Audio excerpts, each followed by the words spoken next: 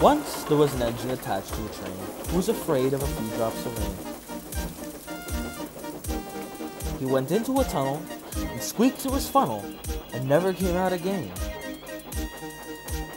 The engine's name was Henry. His driver and fireman argued with him, but he would not move. The rain will spoil my lovely green paint and red stripes, he said. The guard blew his whistle till he had no more breath and waved his flag till his arms ached. But Henry still stayed in the tunnel and blew steam at him. I'm not going to spoil my lovely green paint and red stripes for you, he said rudely. The passengers came and argued too, but Henry would not move. The fat director, who was on the train, told the guard to get a rope. We will pull you out, he said, but Henry only blew steam at him and made him wet. They hooked the rope on and all pulled, except the fat director. My doctor has forbidden me to pull, he said. They pulled and pulled and pulled, but still Henry stayed in the tunnel. Then they tried pushing from the other end. The fat director said, One, two, three, push!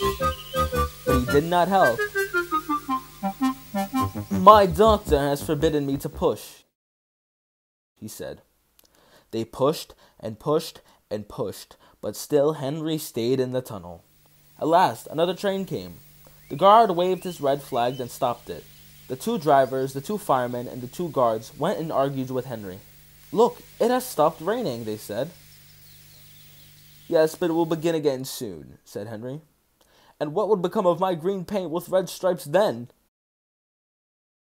So, they brought the other engine up, and it pushed and puffed, and puffed and pushed, as hard as it ever could, but still Henry stayed in the tunnel.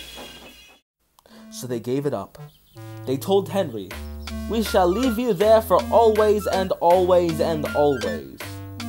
So they took up the old rails, built a wall in front of him, and cut a new tunnel.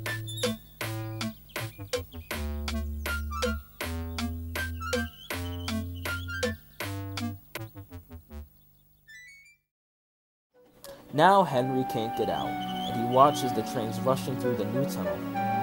He is very sad because no one will ever see his lovely green paint with red stripes again. But I think he deserved it. Don't you?